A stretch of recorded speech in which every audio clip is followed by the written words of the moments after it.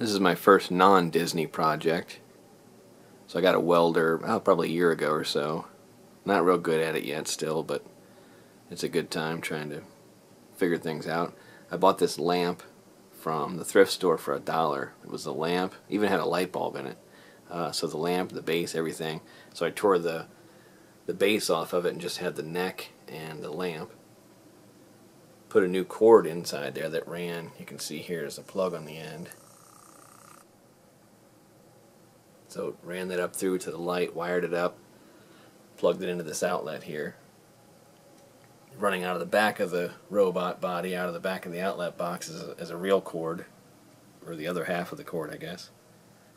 Plugged into the wall, so when you flip the switch on the side there, the light comes on. Kind of cool because this top plug is fully functional as well. So if I want to plug something in up there, that you know that'll uh, provide some juice there.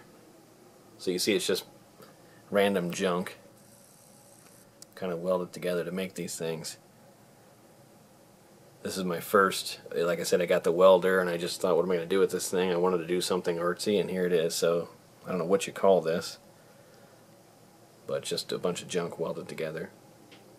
Now this is my light, uh, my bedside light for reading or whatever. So he's got a gauge for his head there. The gauges work out really nicely. I got a bunch of those at the flea market for like eight bucks. I think I got six of them. And they actually all worked. I mean, they appear to work. This was a depth gauge. You press it down on something and the dial would spin around.